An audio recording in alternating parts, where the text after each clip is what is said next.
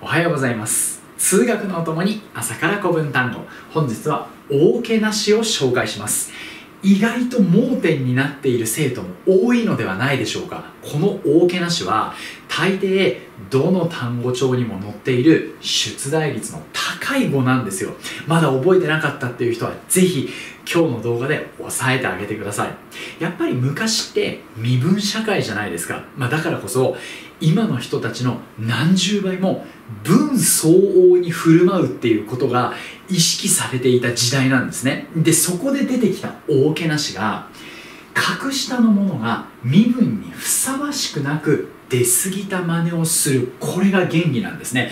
まさに分不相応ってやつですよ。ということで現代語訳しっかりと身の程知らずだとかあるいは自分の振る舞いが恐れ多いなんていう言い方をしっかりと暗記してあげたいですね。ちょっと覚えにくい単語だとは思います。例文確認しておきましょう。信頼の右衛門の神。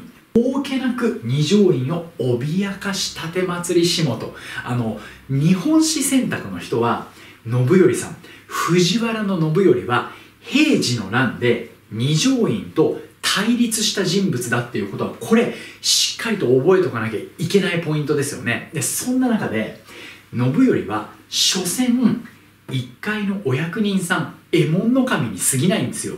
二条院はもちろん天皇です。